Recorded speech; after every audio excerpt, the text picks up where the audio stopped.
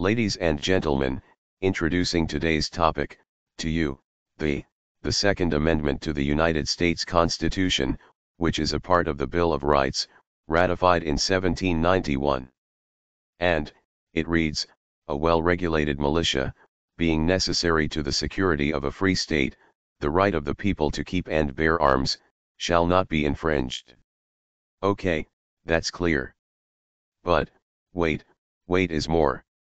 This amendment is one of the most debated and controversial parts of the Constitution, with its interpretation and implications being a source of ongoing discussion and legal battles, apparently, so, here are some key points to consider, the core right, the Second Amendment protects the right of the people to keep and bear arms.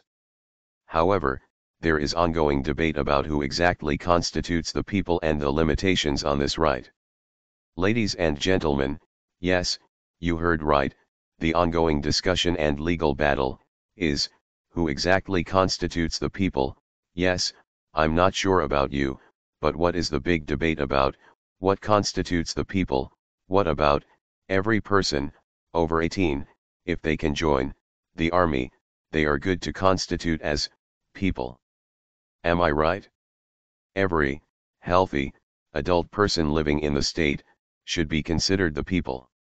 If they go to work and keep a job, they are responsible and productive, daily, if they allow, to be gypped, by taxes and fees, somehow, they are not good, to be considered the people. The militia clause, the first part of the amendment mentions a well-regulated militia as being necessary for a free state. Is this somehow, not clear, in plain English? But somehow this connection between the militia and the right to bear arms is another point of contention, with some arguing it clarifies the purpose of the amendment, while others see it as a justification for an individual right to bear arms independent of militia service. Interpretation The Supreme Court has issued landmark rulings, on the Second Amendment, such as the District of Columbia vs.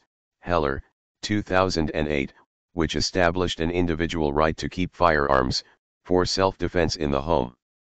However, the court has also upheld certain gun control measures, and the full scope of the Second Amendment's protections remains a complex legal issue, well, they like to, muddy more the water, for more confusion, no.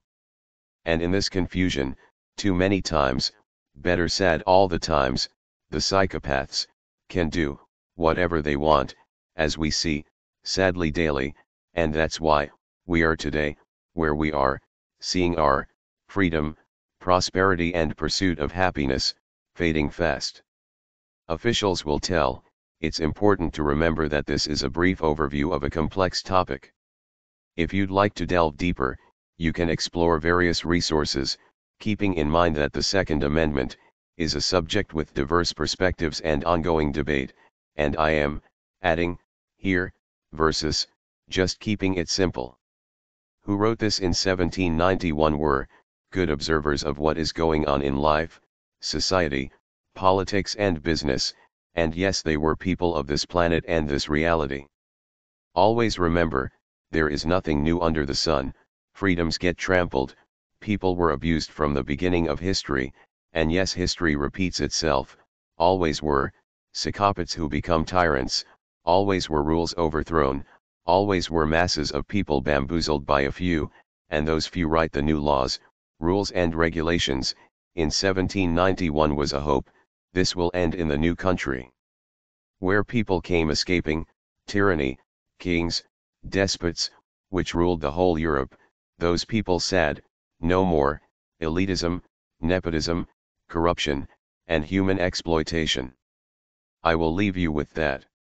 Thank you for watching, I appreciate you, and God bless you.